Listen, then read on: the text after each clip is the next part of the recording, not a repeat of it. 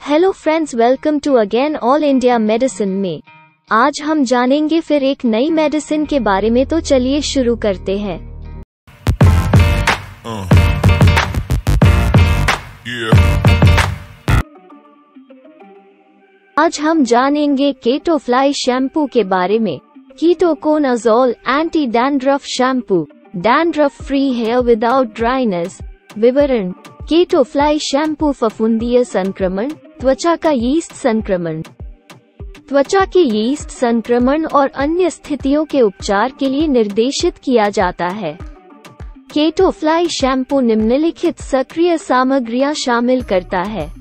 Ketoconazole topical यह shampoo के रूप में उपलब्ध है। केटोफ्ली शैम्पू फफूंद कोशिका झिल्ली के निर्माण में हस्तक्षेप और कमज़ोर करके काम करता है। ओवरव्यू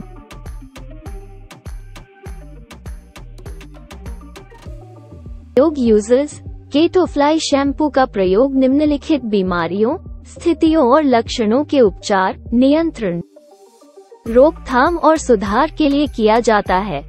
जैसे, फफुंदीय संक्रमण, त्वचा का यीस्ट संक्रमण, रूसी, कैंडिडल संक्रमण, valley fever, histoplasmosis, paracoccidioidomycosis, blastomycosis दाद सीबमयुक्त त्वचा शोथ कुशिंग सिंड्रोम दांत का एक प्रकार एथलीट फुट टीनेया वेरसिला बेली बटन संक्रमण खुजली वाली खोपड़ी दुष्प्रभाव साइड इफेक्ट्स ये दुष्प्रभाव संभव हैं, लेकिन हमेशा नहीं होते हैं। कुछ दुष्प्रभाव दुर्लभ लेकिन गंभीर हो सकते हैं।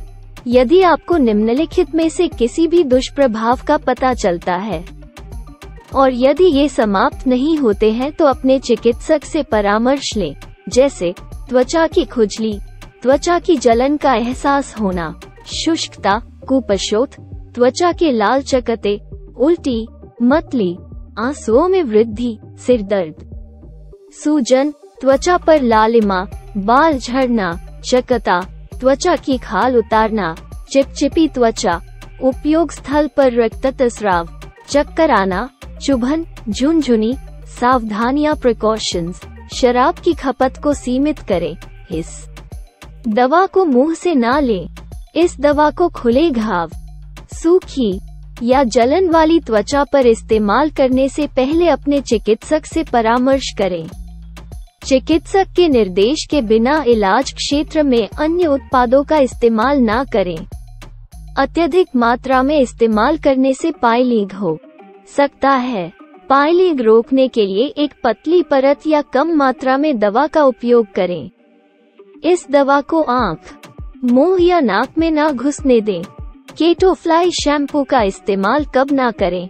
यदि आपको निम्नलिखित समस्याएँ हैं तो केटोफ्लाई शैम्पू नहीं लिया जाना चाहिए।